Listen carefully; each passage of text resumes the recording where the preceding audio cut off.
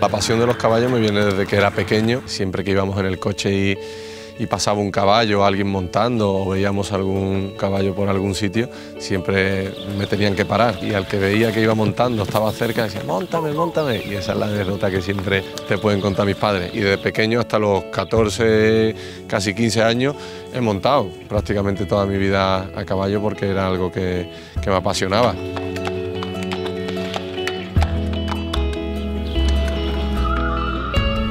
Siempre me ha gustado lo que es el, animal, ¿no? lo que transmite, ¿no? y siempre me, he sentido una persona muy, cercana a ciertos animales y el caballo ha sido uno de mis favoritos. Cuando llevo mucho tiempo y la agenda me lo permite, cada vez que, que, me puedo escapar, vengo aquí, me libero, me encierro en la, en la finca y me gusta estar rodeado de, animales, ¿no? de los potros, de los caballos, ver lo, lo, que ha parido nuevo, lo que, la provisión, con qué semental vamos a cubrir la yegua, según el caballo que, que necesite. Todo un poquito más implicado y mucha dedicación y tenemos pues, un grupo de profesionales muy buenos.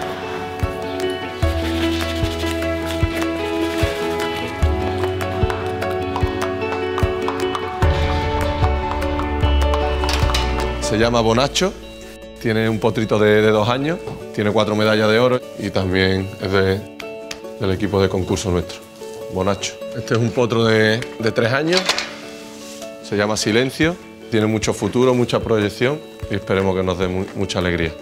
También es del equipo de, concurso nuestro. Este se llama Foco Quinto y es otro semental de la ganadería. Este se llama Yucatán, un potro también de dos años.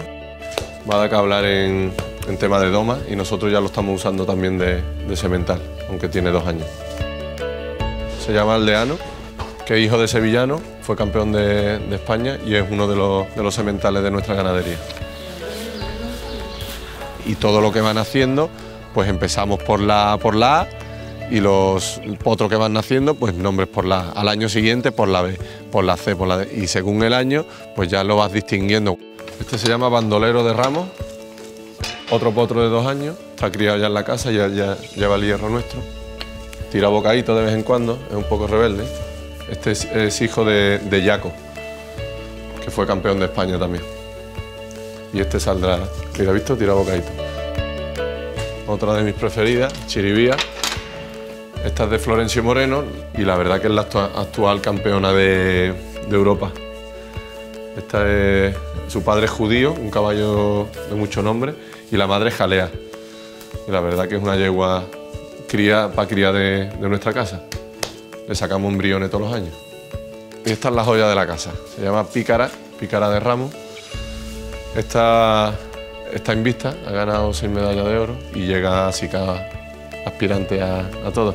La elegimos de una piara de yegua de, de 30 potras y potros que había disuelto y espero que nos dé muchas alegrías.